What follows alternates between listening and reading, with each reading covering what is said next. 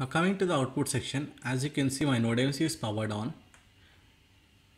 I have put the DC motor in the water and the pipe is connected across it and the soil moisture sensor is kept in the pot.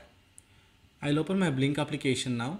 Before that I'll make sure my hotspot is connected which is connected uh, which is shown in the code section and now I'm going to search for Blynk application. Let me open the Blynk application and make sure that the Blynk application is now connected. So the Blynk application is now connected and once I remove the soil moisture sensor I get an alert message saying that alert the moisture level is very low. So I get this notification continuously until I switch on the motor. So now I'm going to switch on the motor and the motor is going to take action and it is going to just fill the pot. So now once it is done, the node MC is powered on again and I don't get I don't receive any notification or email again. So I can just power it off.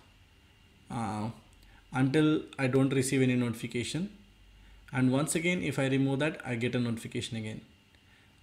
I hope you're clear with the output and I hope you got the same.